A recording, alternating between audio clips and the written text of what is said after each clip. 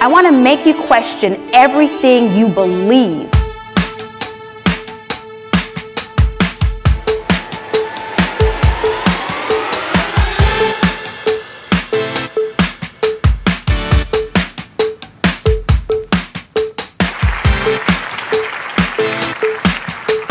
Have you all noticed that technology has shifted the way that humans interact with each other? Have we all noticed this shift? Yeah? Number one, we're developing something called digital amnesia. What that means is we're retaining less information because we don't have to retain as much information. It's right here at our fingertips. And so oftentimes what's interesting is people think that you're not paying attention because you're on your device, but oftentimes you're taking notes or putting something in there that will help you remember pertinent information. I remember speaking at an event a few years ago, and it was all HR folks.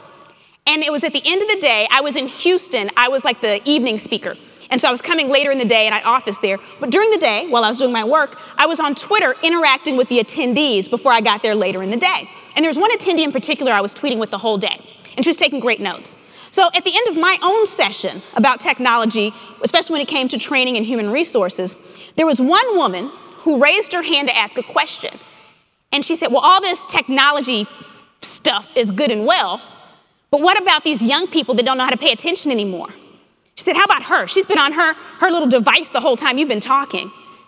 And this young woman who was sitting next to her looked up, like, I know you didn't, right? Like, just totally.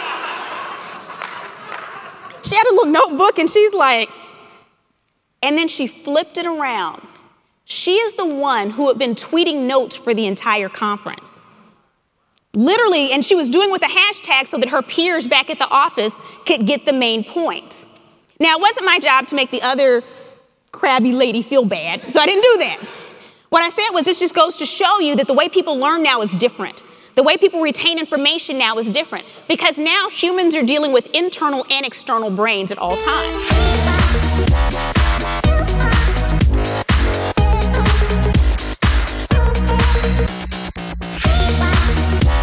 Data allows organizations to make strategic decisions based on actual information. Does that make sense to everybody in here? That's all it is. It's just a whole bunch of information that can be used in some pretty cool ways. Big data is driving the conversation when it comes to technology because all this social media, all these smartphones are all contributing things to big data. Walmart is a great example of this when you talk about leveraging data. Now, I don't know if you're familiar with this, but Walmart was probably one of the first corporations to leverage big data and data science. Walmart wanted to figure out before a big hurricane was coming in Florida, what was it people flocked to buy at the grocery store to save their family? So, what things did they see the largest percentage increase in? So, not just strictly numbers, but saw the highest percentage increase. They hired some data scientists. They looked at the data from the stores all over Florida for a five year period, and they crossed that information and they found out what one item saw the largest percentage increase. And so, most of you in here would think that when they sat down for the meeting, they said, okay, data scientists, what do we need to stock up on? Most of you would probably think bottled water, toilet paper, canned goods. Some of you might think beer, depending on how funny your family is, right? And you'd all be close. But there's obviously one thing that is more important to people whose lives are at stake. There's one thing that they're buying more than any of those other things in terms of a larger increase than what they normally buy. Not water, not batteries, not toilet paper. The one thing that's more important than all of these things strawberry Pop Tarts.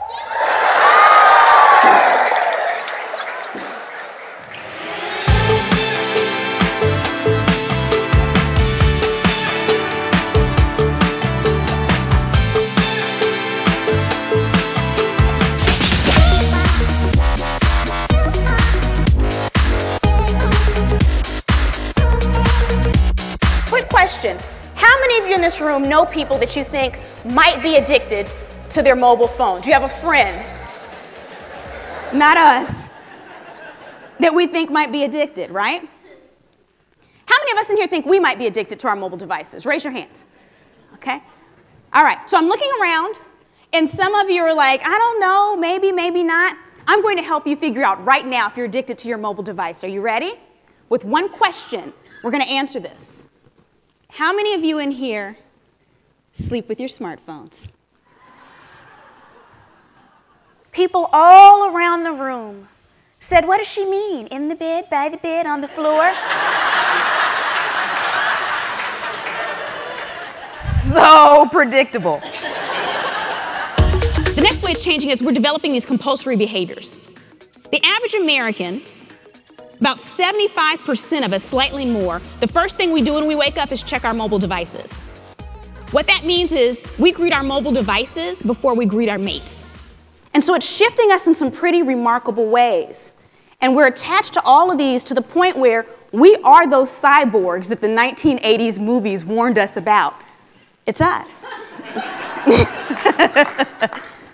Honolulu passed a law last year that made it illegal for pedestrians to look at their smartphones as they're crossing the street.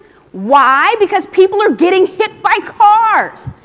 There's a gentleman, true story in California, that almost ran into a bear on the sidewalk because he was too busy texting. But I want to be very clear a cyborg is a human that is fitted with technology to give them additional abilities. You're a cyborg, not an android, which is a robot that imitates a human. Very different. And by definition, you're becoming that because we're becoming fitted with, we are mating with our devices. Not that, some of you were looking at me crazy, not that definition. There's two, there's two definitions of mating people. The second definition, which means to be fitted with, okay? So, so using tools like GPS enabled augmented reality they're encouraging kids to get into STEM programs, and so they take them to places like the Grand Canyon. They can hold up their phone and they can see the different layers of rocks as they appear. Additionally, they're using the same type of technology to explain math concepts to kids that are hard of hearing or deaf as well. Physics labs all over the country in high schools are being built for fractions, pennies on the dollar, because kids are using their smartphones as sensors. Many of us in here have used our smartphones to learn new languages, to learn new facts, and so it's impacting us in some pretty positive ways as well.